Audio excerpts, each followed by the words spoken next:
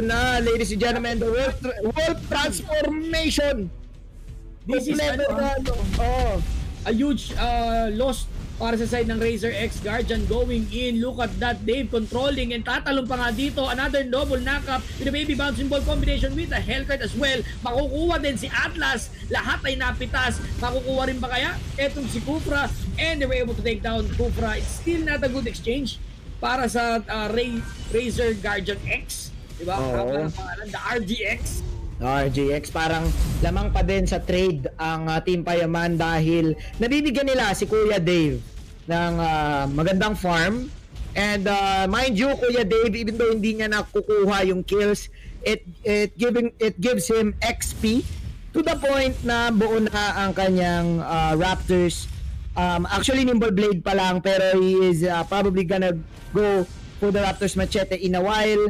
Meanwhile, yung ah, Bruno natin eh naka Hunter Snipe pa lang. So magandang Oo. advantage para sa side ng ah, team Payaman pare ko. Wala pa nagkakabasagan, second round pa lang ng ah, objectives, pero it seems like Team Payaman is controlling the tempo of the game. Tama, mas mabilis ang rotation ngayon ng uh, Team Payaman with regard sa kanilang ano ah, the, the usual 1-3-1. Uh, one core, ah. ano, one core hero or heavy core hero ang uh, Razer Guardian X. While itong Team Payaman, dalawa babantayan nila. They have this Hellcurt, meron Yep. din silang Roger, sama may mini damage sila galing dito kay ano kay Valir. Pero this is a free turtle. Most likely hindi nila i-contest to knowing na lamang sa Arsenal ang uh, Team Payaman within Yep, kas- 3 minutes. Yeah, kasi usually, ang Bruno kasi hindi siya yung type ng hero na ano eh, na run and gun eh. Mm. Ano siya eh, from the back. 'Di ba So medyo magiging dapat patient ang team ng Razer Guardian X dito in terms of uh, fighting sa mga 5 on 5 team fights. Unlike Team Payaman na Roger, ikaw nga nagsabi, fighter to, may reach na naman sila. Bobby Bobs will uh, fall down. Napakasakit, Kuya Eddie, ng uh, pinapakitang DPS damage ng side ng Team Payaman. Hindi ka pwede masyado magtagal sa ano no, sa ginagawa dito ng ah, Team Payaman. Oo. Kung titignan mo, dalawang pick off galing sa mid, it means na etong ah, call point na itong Team Payaman is every time makakita tayo ng hero na lumalagpas sa barrier o bandang bush side, pwede kang i-hold ng Valir, pwede kang Oo. i-knock up dito ng ah, Kufra. Diba? Oo, may madami silang uh, form of uh, oh. disengage. No, yan yung ano eh, yun yung kumbaga yun yung sa basketball, marami silang mga sentro na magagaling blumak ng tira. So hindi ka basta-basta makakapasok. Well, same goes sa side ng Guardian X, meron naman silang Atlas. Pero again, may ano sila eh. Mas marami yung disengage factors ng Team Payaman eh. May pagab eh. Baby bouncing, ano, Tyrant's Rage, Tyrant's Revenge. Pero tulak pa. hold dito, the RKO for a double tap para sa side ng Razer Guardian X. Mispositioning ba to? Mahuhuli. Nahuli na si Kufra. Hindi pa tapos sinusundan ng nauna. Si John, nakalmut pa. Si Bobby Babe. Habang si Pren and the rest of the gang, Dave as well and Kylie disengaging against Razer Guardian X. Somehow medyo nakapantay nga ba ang ah, exchange? Ah, even lang. Parehas na tank. Pero with regards sa objectives, lamang na lamang ang Team Payaman. Advance na sila sa mid, advance sila dun sa top side. Kailangan medyo beluhan na to ng Razer Guardian X. may onting ah, paglamang na ang ah, Team Payaman dito and ah, probably yung momentum ay unti-unti na rin pumupunta sa kamay nila dahil they are now going to the Lord. Another initiation from ah, Reggie followed up with the bursting fireball. It is just gonna be the turtle for the side of uh, Team Payaman and mukhang pupunta pa sila ng ah, bottom lane to get another objective. This is looking like a snowball para sa Roger Peck na nagmumula kay Dave. Ang tanong, paano mapipigilan ng Team Razor Guardians to, Kuya Prof D? Yun nga eh. Tinitignan ko rin kung paano. Kailangan siguro may part dyan na kailangan i-clear lang na i-clear neto ni Farsa. Most likely defensive uh, play. Hindi Oo. kailangan na lumalalim. Like that, tulad netong Bruno, di ba? Lumalalim na Oo. naman sila, maaari sila matalunan anytime soon. Ito yung sinasabi ko kanino, tira mo yung position ng dalawa eh. The tank and the Valir, lagi Oo. sila nasa bush. Pag may tumawid, ganyan sila ka-agresibo. Ayun oh. Yung so, nga kasi eh. pa pa lang, sinasapo ka na. And, Oo. nag-RKO sa hangin si Bobby Bobs. Ubos yung hangin, men. Ubos yung oxygen. Oh, Basically, inuubos niya yung 99.9% of germs sa hangin.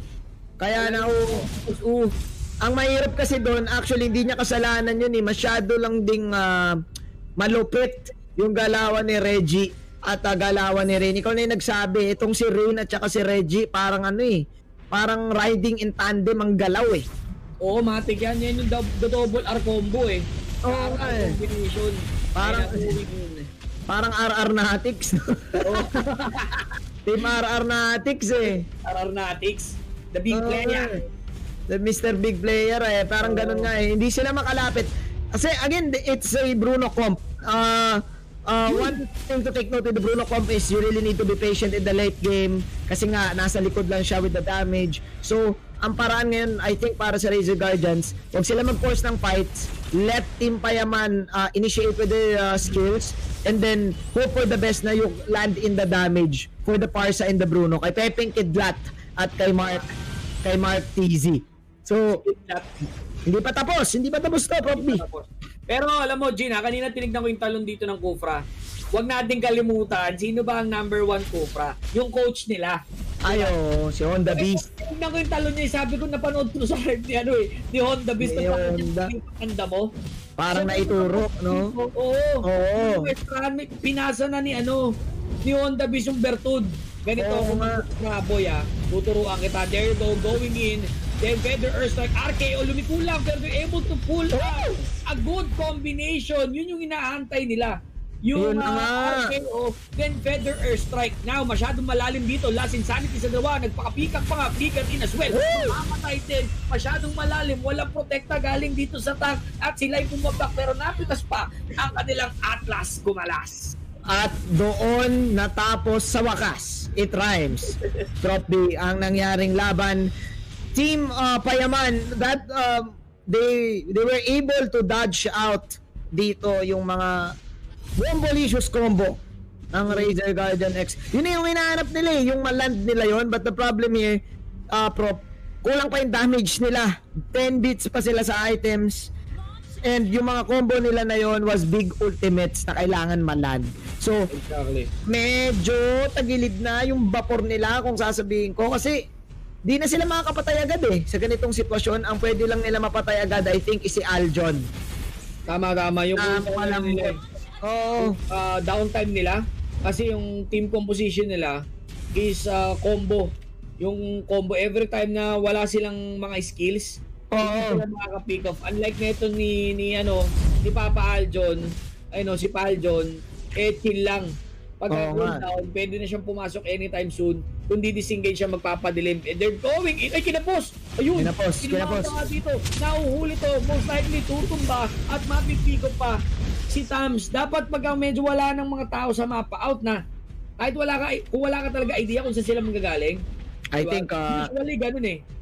I think ni-risk I think naisip lang ni Caltizi na baka pwede niya pang i-risk ng onte Oo. na yung onting segundo na nagstay siya that was crucial for uh, team uh, Guardians uh, Razor Guardians X uh, team Payaman getting a crucial pick off and alam nila na kulang ang Razor Guardians with this Lord take maglalakad pa si Ka- uh, Kalitizi kahit buhay na siya kalati na ang buhay ng Lord and may crits na si Dave dito this is looking like a free Lord Prop B Uh, kasi kung titignan natin yung mga battle spell nila dito, lugi talaga sila dyan. Kahit kumonte sila, may retry eh. Si Dave. So kung nga. sila dyan, Holy Mary play lang. Or talagang tsambahan lang dito, going in. Pa, pang kanyang immortality, may last insanity pa dito, Buhay pa. And napitas pa. Naiwan dito, si Drace with the mic. Nakikipagsayawan and Mike will survive. And nice zone out galing kay Bobby Bobs. Medyo risky-whisky ginagawa nila dito, Jin. Medyo medyo pabor ako sa ginawa ng Razer Guardian X doon kasi yun na lang din yung makukuha mo in that situation. Kumbaga yun na lang yung butas na nakita nila and parang ikaw sila prop, lahat ng butas papasukin at Oo, pinasok nga nila yon. Eto na, speaking of butas, nagmukhang gagara ng keso sa dami ng butas going in for Oh! as well. An RKO sa dalawa dito. Pero lumiko, wala silang mga lock. They're able to take down Reggie, pero may Lord pa dun sa taas. Lumiliko na dito. Si, Oh si my Mark God. Easy, munti kang mapitas. Ang kanilang gusto eh si Payne. Si Payne nga ba? Ay, Rain. Si Rain. Si Rain, si Kuya, ano, oh, yung kanilang mga Valir. si Kuya Rain. oh, ma, yun pala ang target pero I think uh, the end is near dahil gamit na gamit na ang Lord dito. There you go, Dave. Now popping the wolf transformation at Berserker barrage niya na yung base. Buti na lang may mga minions pa dito. Napakasakit. Kuya Eddie, yung damage output dito ng uh, physical attack ng ni Dave and ni Aljon. Team Payaman. Uh, now, pasag na yung mga tore. Ano men? ah, hindi hindi out draft eh no ang Razor Guard. Hindi out drop eh. Parang, Na out rotation eh. oo, oh, na-out rotation. Kasi ang lakas ng ano, ng ah, zone out potential ng Team Payaman. Doon nagkasalubong pa lang, 'di ba? Oo. Ang bilis ng ano eh, ng mobility kasi ng Team Payaman. So papwesto pa lang yung Razor Guardian X to check the bush. Nandun na kaagad yung Team Payaman. Oo. Sasalubungin, sasalubungin, sasapuin sila. Oo. Pero mahilig sila sa ganyang position eh. ma-agresibo maglaro yung team Payaman. Na ano sila na out-agresibuhan. Kung may ganong... Kasi ano eh, Uy! sakit Bobby to the petrify to the deadly poison stinger combo mula dito kay Helker team Payaman an aggressive team for this game number one they do they now want the base ayun sabi ni Dave base lang wala nang ah, lokohan Uy, pa. Oh, wala nang paligoy-ligoy pa. Team Payaman winning game number one in a very convincing fashion. Mainit, Prof B. Mainit ang ah, galawan dito ng ah, side ng ating